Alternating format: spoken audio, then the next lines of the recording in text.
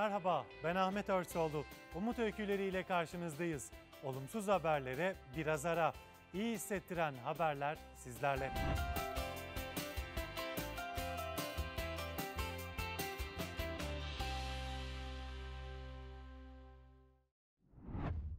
Şimdi tanışacağınız kişinin pek çok ünvanı var. O kürekle okyanus geçen ilk Türk. Tarihte kendi gücüyle devri alemi başarmış ilk ve tek kişi. Erden Eruç, NTV'nin konuğu. Benim adım Erden Eruç. Size Pasifik Okyanusu'ndan sesleniyorum. Şu anda okyanusun ortasında ve tek başına o kas gücüyle Pasifik'i kürekle geçen ilk kişi olma yolunda. Kaliforniya'dan Hong Kong'a Pasifik geçişimin üçte ikisi tamamlandı.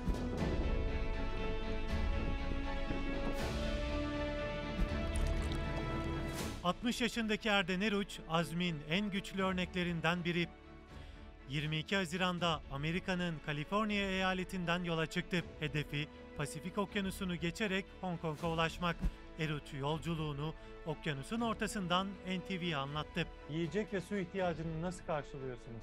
Bu güneş panelleriyle iki adet akü şarj ediyorum. Şarj edilen akünün verdiği elektrikle benim tuz arıtma cihazım çalışıyor. Deniz suyundan tatlı su üretiyorum. Eruç yaklaşık 8 ay sürmesi planlanan zorlu yolculukta bir kano kullanıyor. O kano kendi tasarımı. 2 Aralık gecesi bir fırtına geldi ve kayığımı devirdi. Biraz hasar yaptı. Yedek küreklerden iki tanesini kaybettim. Tuzlu cezerye yiyorum. Çok ilginç. O kadar da fena değil aslında. Aman! Türk doğa sporcusu Erden Eruç yolculuğuna rekor için başladı ancak tek amacı bu değil. Bu geçiş sırasında bilime de hizmet ediyorum. Şu gördüğünüz yüksek frekanslı hidrofon suya sallandırıyorum. 20 metre derinlikte balinaların ne yaptığını, sayılarını, nerelerde beslendiklerine dair veri topluyoruz. Eruç'un yolculuğu Hong Kong'da bitmeyecek. Karaya çıktıktan sonra Everest'e tırmanacak.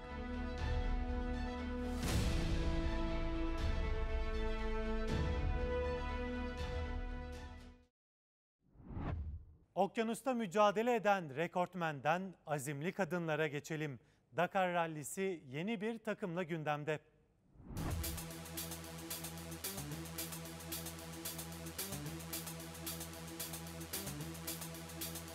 Dakar Rallisi'nde tarih yazılacak. Üyelerinin hepsi kadın olan bir takım ilk kez ralliye katılacak.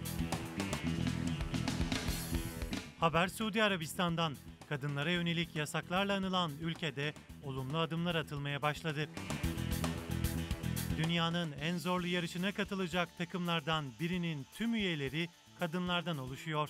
Takımın pilot koltuğunda Merse Marti oturacak. Co-pilotluğu Margot Ilobera üstlenecek. Takımın pilotu Merse Marti daha önce de ön yargıları kırmıştı. Sadece 17 yaşında uçak kullanmayı öğrendi. Ticari pilot lisansı aldı. Uçuş eğitmeni oldu ve havacılıkta dünya rekoru kırdı. Daha önce yarışa pilot veya co-pilot olarak katılanlar oldu. Ama ilk defa tüm üyeleri kadın olan bir takım ralliye katılacak. Motosporların en büyük platformlarından birinde kadınların ön plana çıkması önemli. Genç kızları da teknik ekipte yer almaya teşvik etmek için de önemli bir fırsat. Dakar Rallisi 14 Ocak'ta tamamlanacak.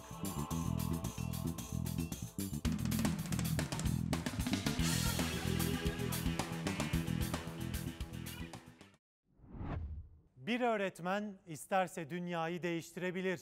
Cümle çok mu iddialı? Mahir öğretmene kulak verelim.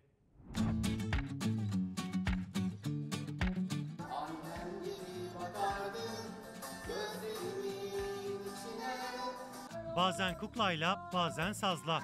O sanatı eğitimle buluşturdu. Öğretmenimiz matematikleri ikişer, altışar falan saymayı öğretiyor bize şarkıyla. Umut Öyküsü Samsun'dan.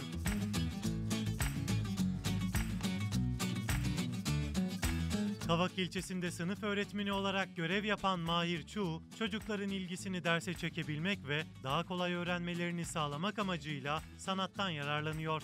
Özellikle matematik derslerinde e, ikişer ikişer sayamayan çocuklar beste yaptığım zaman onu söyledikleri zaman altıları dokuzları sayabilmeye başladı. Bakkal amca yokken daha zor öğrendim. Bakkal amca bize öğretimi daha kolay öğretiyor. Palyaço makyajı yapıp renkli peruk takan mahir öğretmen tiyatro ve müzikle dersleri farklı yöntemlerle öğrencilerine anlatıyor.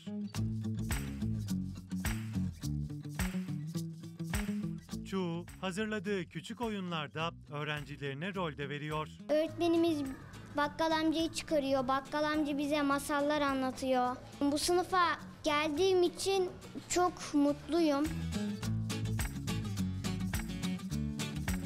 Yeni eğitim tekniğinden hem öğrenciler hem de velileri çok memnun. Dünyaya zor zamanlar yaşatan koronavirüs iyi şeylere de vesile olmuyor değil. Meksika'dayız.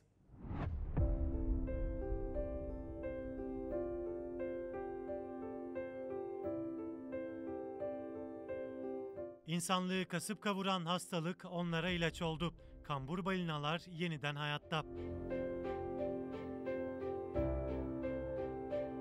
Meksika'nın Oaxaca eyaleti kıyılarında koronavirüs karantinası doğaya yaradı. Kambur balinalar bu bölgede yeniden görülmeye başlandı. También mucho que Deniz insanlar olmadan aylarca sessiz kaldı. Bu da balinalara dönmeleri için güvenli bir ortam sunuyor. Kambur balinalar burada kalıcı gözüküyor. Genellikle kıyıdan bir kilometre uzakta yüzüyorlar. Balinaların ortaya çıkmasıyla bölge turist teknelerinin akınına uğruyor. Ancak teknelerin balinalara çok yaklaşmasına izin verilmiyor. Kambur balinalar arasında sadece erkekler şarkı söylüyor ve şarkıları insan şarkılarının sürekli tekrarlanan dizelerine benziyor. Araştırmalar her mevsim şarkılara yeni dizeler eklendiğini gösteriyor.